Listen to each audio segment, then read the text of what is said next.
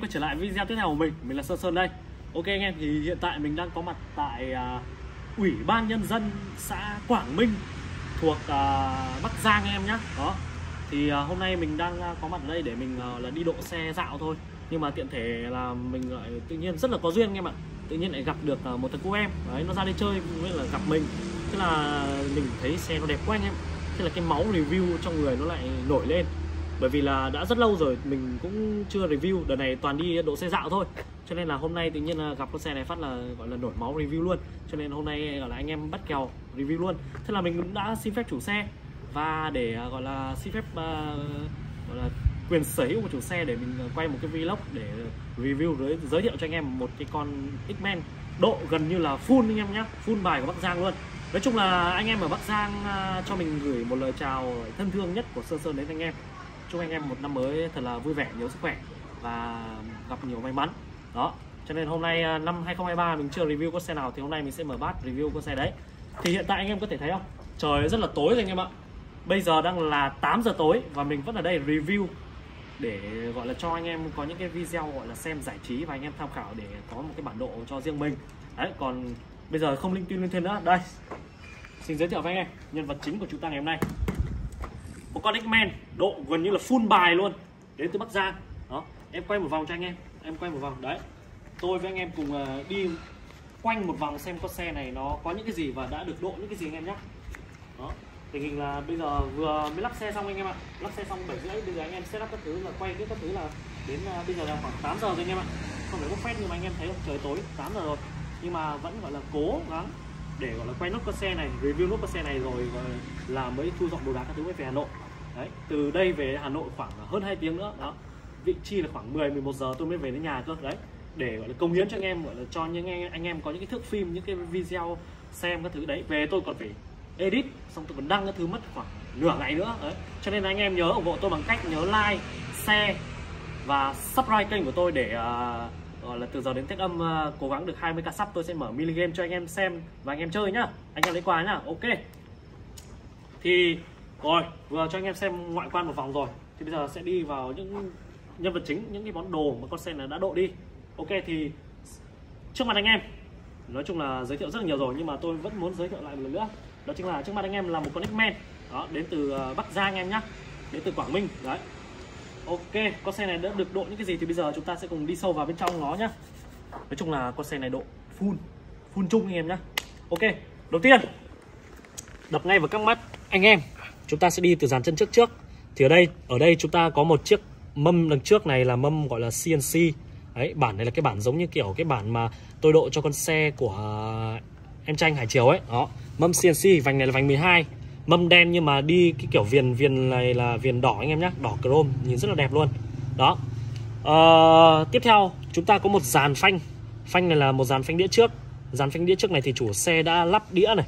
Đĩa này đĩa này dạng cái đĩa răng cưa anh em nhé Đấy, đĩa này theo như tôi quan sát thì tôi đoán là đĩa này đĩa 220 nhưng mà thực ra là nó có ghi số đây. Em quay vào đây quay vào số này. Đó. Ok anh em ok. Rồi. Ra lùi lùi ra. Đó. nói chung là nói chung là tôi nhờ cameraman là chủ xe anh em nhé đó nói chung là của nhà chồng được cho nên là anh em xem có gì chưa được thì anh em bỏ qua cho. Cũng ờ, đừng có nói bảo là không biết quay thế này thế kia. Nói chung anh em tôi đã cố gắng để cho anh em có những cái thước phim xem rồi. Ok đĩa là đĩa răng cưa 220 nhá. Lòng trong của nó là lòng vàng này như này. Đó tiếp theo đó ở đây. Ở đây chủ xe đã độ cho nó một cái uh, con heo Brembo. Con này là con hai bit to đối xứng anh em nhé đó. con này là tôi cũng bán tôi cũng lắp rất nhiều cho anh em rồi cho nên tôi biết cái uh, con này là được sơn màu à, chrome đỏ này. Kèm theo đó phải có bát phải có bát anh em ạ. Đây phải có bát thì mới gọi là lắp được cái phanh đĩa này anh em nhé ok rồi. Tiếp theo. À, tôi nghĩ là cái cái điểm uh, điểm điểm điểm điểm nhấn của cái dàn chân trước đó chính là bộ phuộc anh em ạ. Đây xin giới thiệu với anh em một bộ phuộc upside down đấy phuộc này là phuộc chân đen. Đó, phuộc này là phuộc uh, lắp cho các cái dòng của mới đích anh em nhé đấy, các dòng xe máy điện các thứ này. Đó phuộc này là phuộc đắt. Ti của nó là ti vàng anh em nhé đấy, chứ không phải ti trắng đâu. Phuộc thì phuộc màu đỏ. Ở đây em quay sang bên này. Ở đây chúng ta còn có cả cái núm tăng chỉnh anh em này. Đây phuộc này có cả núm tăng chỉnh nhá. Đấy theo như tôi nhớ là một bên là đen bên phải đen và bên bên trái là đỏ đúng không? Đấy đúng. Đây một bên này bên đen bên này bên đỏ. Ok. Rồi tiếp theo quay vào đây cho anh. Ở đây thì à, chủ xe à, chắc chắn anh em độ full rồi. Lên mâm các thứ thì phải lên lốp. Lốp thì ở đây chúng ta có size à, lốp 110 này 110 70 vành 12 này anh em này. Đó ok rồi. Rồi ok đó là tất tần tật cái dàn chân trước. Rồi lên trên này một chút lên trên này một chút thì ở đây anh em ạ. Đèn đèn là đèn bi cầu.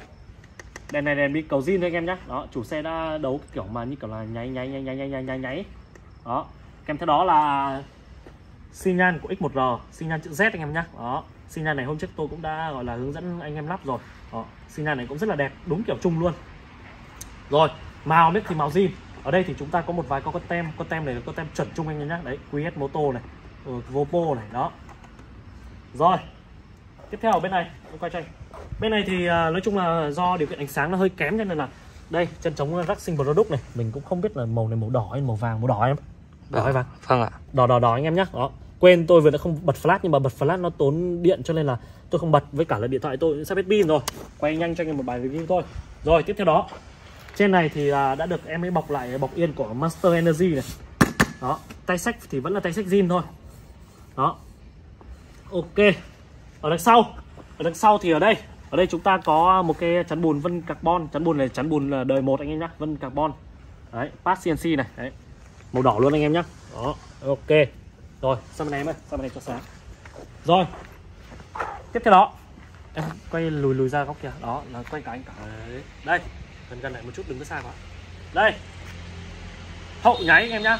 Hậu này thì theo như tôi uh, tôi biết là em đã thay bóng em đã khoét bóng và em nhét bóng uh, nháy hậu vào đây chứ không phải là uh, đèn hậu zin đâu. Đấy, em quay gần vào đây cho mọi người xem này. Đây anh em có thể thấy này. Em ấy khoét và em ấy nhét vào đây theo như tôi quan sát là hai quả chứ không phải là đèn zin hay là thay bạch đâu anh nhá. Đấy đèn. Rồi ok lùi ra lùi ra. Rồi tiếp theo đó là ở đây. Vẫn tiếp tục là đôi uh, xi nhan chữ Z này. Đấy, xi nhan X1R chữ Z này. Nhưng tôi xi nhan thử cho anh em xem này. Còn xi nhan sau thì gọi là không sáng rồi. Rồi tiếp theo đó là bát biển trung. Đấy. bát biển trung anh em nhé bát biển trung ok chưa? Cũng đỏ hết luôn. Xe này gần như là chơi hết đỏ anh em nhé rồi em đứng ra góc kia quay góc này. rồi tiếp theo đó là dàn chân trước rồi thì bây giờ chúng ta đến dàn chân sau. Dàn chân sau thì ờ, ở đây. À, như anh em đã biết thì à, mâm trước thì mâm CNC rồi. Thì đằng sau chắc chắn chúng ta phải độ cho nó một cái con động cơ. Con động cơ này thì uh, xin giới thiệu với anh em đây là con uh, QS3K V4 bản này bản có canh gió anh em nhé kèm theo ở đây em đã đi lốp to lốp này là lốp size 130 này. 130 70 sạc 12 này. Đó. Kèm theo đó là em đã đi một uh, con gấp một con gấp gấp này là gấp uh, nhôm gọi là gấp gấp nhôm gắp nhôm. Nói chung là cái cái lợi thế của gắp nhôm là rất là nhẹ luôn, đấy. Gắp này tôi không biết cái tên của nó là cái gì, hình như là bên này nó có chữ. Đây là GX7 anh em ạ. Đây, bên này nó có chữ GX7 đấy. Rồi, gắp này thì à, nó có kết cấu bằng hai cái thanh này anh em này. Kết cấu hai thanh này và ở giữa này nó có một thốc này. Nhiều anh em rất là sáng tạo luôn, còn lắp cả phuộc bình dầu rời, xong rồi anh em còn cho cả cái bình dầu rời vào trong này cơ. Đó. Ok, thì để lắp mà gắp thì chắc chắn anh em phải nâng phuộc hoặc là anh em thay một cái phuộc khác dài hơn thì đây anh em này. Đấy, phuộc dài hơn này lò xo đỏ này. Đấy nhìn trông rất là mới luôn. Ở đây thì à, thay gắp các thứ thứ thì em ấy đã lắp vào đây một cái à, gọi là chắn à, uh, mic không phải bình thường nó là mica nhưng cái này là bằng bằng bằng nhôm anh em ạ. Đấy nhôm gọi là chắn bùn gọi là chắn bùn cho lò xo cho cho cho giảm sóc. Đấy olin. Đấy kho titan. Rồi tiếp theo đó là để uh, hãm được cái uh, khối động cơ này thì em đã lên cho con xe của mình một hệ thống phanh đĩa sau và con heo này là con heo fandom anh em nhé đó, con heo fandom con này là con 4 bit đối xứng này. Đó 4 bit đối xứng. Đĩa thì là đĩa 220 bản chung. À, cái phần à, phần phần phần phần ở trong thì là màu đỏ. Đấy đĩa này thì cũng rất là nhiều anh em ưa chuộng. Chơi. Rồi ok. À, xem là còn gì. Dây dầu hồng anh em nhé nhưng mà theo thời gian thì nó cũng phai màu đi và cái động cơ này động cơ 3K V3 V4 khác nhau ở cái điểm đó chính là động cơ 3K V4 thì nó có cánh gió anh em này. Nó hút gió để làm mát động cơ này anh em này. Đó. Tất cả các cái cánh gió của nó thì đều là màu đỏ nhưng mà tối quá nên là anh em không nhìn thấy đâu. Đấy, nói chung là tôi cũng review rất là nhiều rồi. Giới thiệu cho anh em rất nhiều rồi hôm nay thì gọi là lượt qua thôi. Đấy anh em có gì ờ, xem những cái video sau thì đều biết. Ok. Xương xương cũng khá phá tiền đúng không anh em? Rồi tiếp theo cái phần ờ, bàn thờ, hay còn phải gọi là phần ờ, phần phần dàn gian dàn gian gian gian gian đầu ấy. Thì ở đây, em đã lắp một bộ ghi đông 5 khúc Rizoma à quên. Từ từ anh em xin lỗi anh em. Líu quá, đói quá nên hơi líu. Ở đây em đã lắp một bộ ghi đông 28mm chung của Rizoma màu đỏ này, kèm theo cục nâng đen nhá. Đó, hai bên thì em đã thay hai bộ tay phanh. Em quay hình trước. Hai bộ tay phanh bình dầu rời anh em nhé đấy cũng đến từ fandom luôn màu đỏ đấy dầu của em ấy thì đi ra dầu xanh. Đây dầu xanh đấy. Bóp thì nói chung là cũng rất là ok bóp rất là thật tay đấy. Nhưng mà theo thời gian này anh em này đây là dấu tích của thời gian này bóp nhiều các thứ nó bị phai hết cả sơn đi rồi nó mà món hết cả sơn đi lộ ra cái phần nhôm trắng này. Đó hai bên rất là ok. Bên này bên này cùng công tắc bên này thì à, uh, là cùng công tắc zin thôi. Bật tắt đèn các thứ zin. Bao tay thì là bao tay của Daytona.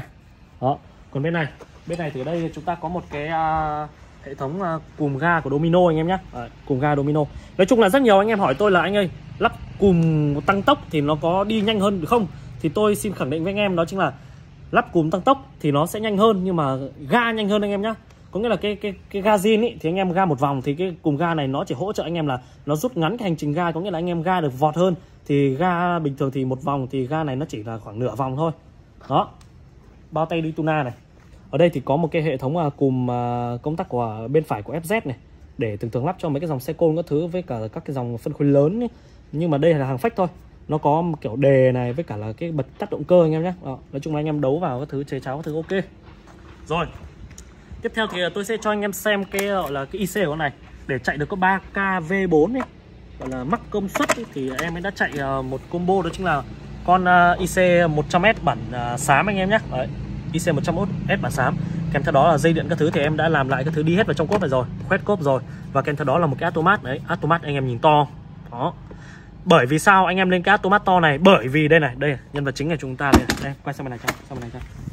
Đấy bởi vì chạy con to đấy bởi vì sao? Bởi vì con này là chạy pin anh em nhá. Đây tôi xin giới thiệu với anh em. Đấy, công nghệ bay bổng nó nằm ở đây này cục pin này.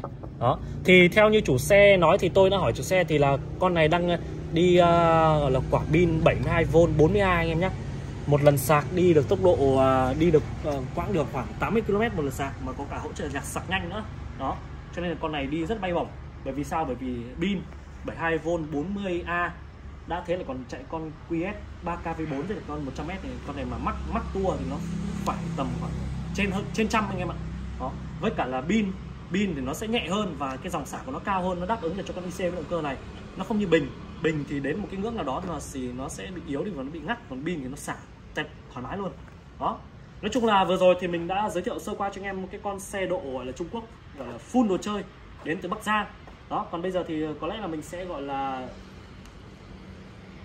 đi test xe và sẽ cho anh em xem một vài cái góc nhìn, xem là cái tốc độ của nó như thế nào. Nói chung là tôi không mang máy quay, không mang GoPro, cho nên là không thể nào mà quay được cái góc nhìn mà từ phía đầu tôi và cái phần vi ghi đông các thứ được cho nên là tôi sẽ gọi là test một vài các cái đoạn ờ, gọi là 500m đến ờ, 800m để xem xem cái tốc độ của nó như thế nào và cảm nhận của nó như thế nào. Đó. Và có lẽ là test xong thì tôi sẽ dừng video tại đây và gọi là gọi là tôi với chủ xe gọi là tạm biệt nhau để uh, tôi về Hà Nội thôi chứ cũng 9 giờ gần 9 giờ rồi anh em ạ. Đó. Nói chung là quay review các thứ thứ cố gắng cho anh em có những cái thước phim để anh em xem thôi. Còn bây giờ thì uh, có lẽ là tôi sẽ đi test xe và lát nữa tôi sẽ dừng video tại đây. Anh em nào mà có nhu cầu mua đồ chiếc xe độ xe hay là bất cứ cái gì mua bán xe cũ mới hay là như thế nào dọn xe đón Tết hay là cần gì tư vấn thắc mắc gì về xe điện độ thì anh em cứ liên hệ qua số điện thoại Zalo 0389218299 số điện thoại tôi để dưới phần mô tả Zalo cũng thế Facebook cũng thế đó. anh em cứ cần cái gì thì cứ liên hệ qua tôi. Anh em nhớ ủng hộ tôi nhá. À, nói chung là Tết rồi cho nên là rất là nhiều ưu đãi cho anh em. Quà tặng thì bạt ngàn luôn. Đợt này thì tôi sẽ độ xe và tôi sẽ đếm xem là hôm nay năm nay tôi sẽ độ được bao nhiêu xe và tôi sẽ uh, tặng tem và móc khóa cho những anh em nào mà độ xe các thứ và quay video bên tôi đó anh em mà mua hàng nhiều các thứ thì tôi cũng uh, sẽ uh, tặng nha anh em nhá. Còn bây giờ thì bye bye hẹn anh em ở các con xe sau nhá. 2000 years later. Ok anh em, bài test đầu tiên thì bây giờ tôi với chủ xe sẽ nghịch ngợm một tí Tôi với chủ xe sẽ đốt lốp tí anh em nhá. Ok em ơi, đốt.